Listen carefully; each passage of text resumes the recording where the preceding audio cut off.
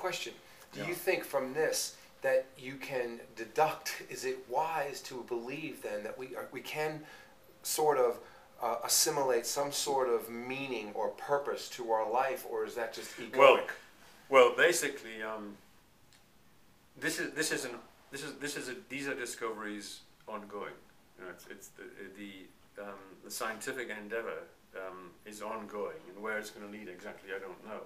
And what relation did ha- all, all, that it says to the individual, I suppose, is that in fact, uh, um, when people like Stephen Gould say that in fact, you know, we are an improbable twig on the edge of an evolutionary tree generated by chance and all that sort of thing, right?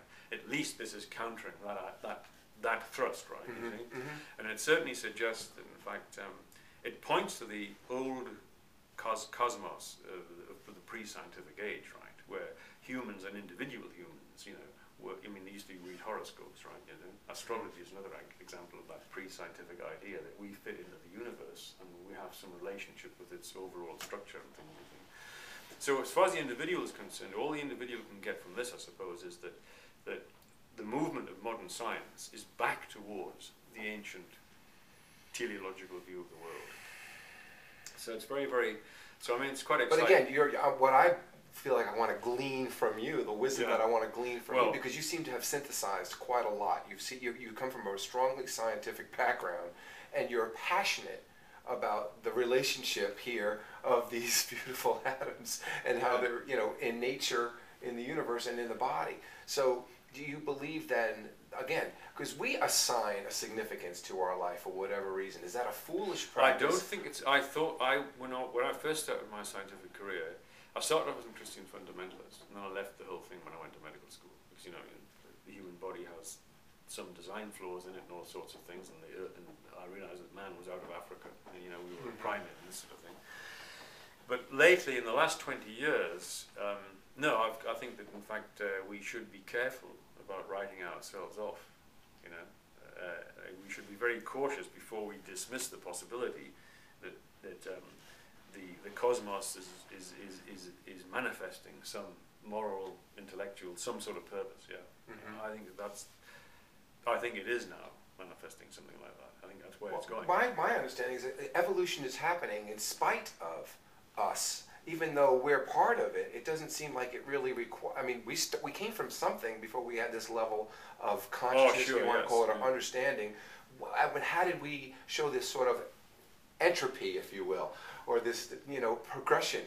You know, how did we get here, and where, where are we going? I mean, there seems to be some form Well, of I, I would say that this, this, directionality? this line of evidence definitely supports that idea that we- we're going to discover more directionality, more inter, in, intelligent causation in the nature of things, right? You know, right. and, and, and it might come right down to individuals and everything else. I mean, it's, you know, it, it looks to me as if the whole process of the disassembling of the pre-scientific worldview, the anima mundi, Right. sort of, you know, the Sistine Chapel, all Exactly. those ideas, which were disassembled by science. It looks to me as if it's starting to move back to those sort of ideas again, you see. Right. I think uh, for me personally, when I get into astronomy and I see how small we are, when you said stardust, that's why I started this recording. I'd love for you to elaborate a little bit on that. Yeah. I really would. I'm very curious about that. I believe, for me personally, that there's got to be some form of understanding that we, like I said, glean. That's why I love to ask Mm. questions. I want to Yeah. glean some kind Yeah. of wisdom. I believe we all have to bring a contribution.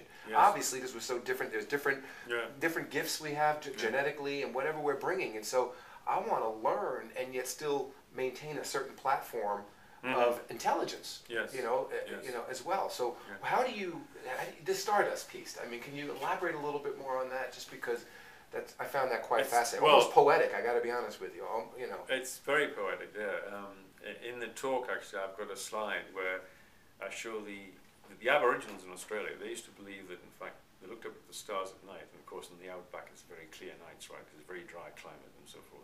It's Milky Ways right across the sky and everything.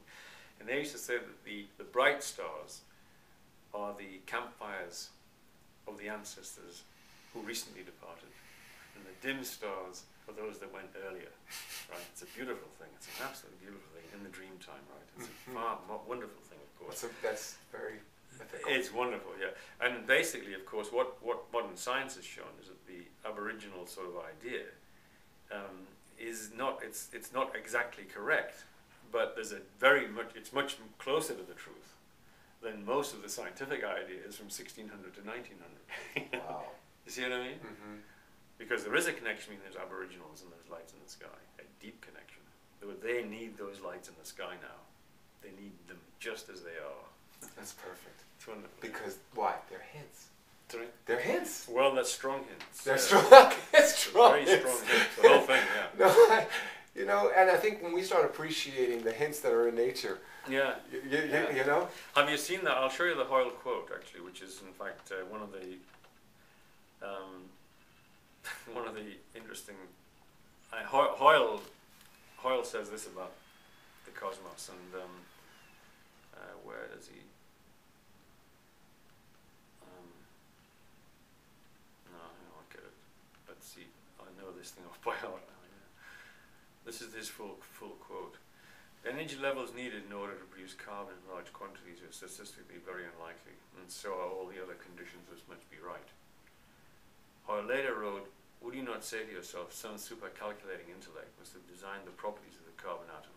Otherwise, the chance of finding such an atom through the blind forces of nature would be utterly minuscule. Of course you would. Common sense interpretation of the fact suggests that a super intellect has monkeyed with physics as well as with chemistry and biology, and there are no blind forces worth speaking about in nature. Oh, think, th- think of the stature of this oh, guy, that's wonderful. right? The number, the numbers one calculates from the facts seem to me so overwhelming as to put this question almost beyond question. So I mean, that's I mean, you know, you've got to remember this is the Plumian professor of astronomy at Cambridge University. You know, a very controversial figure, of course, Hoyle. You know, in some ways, uh, and pretty eccentric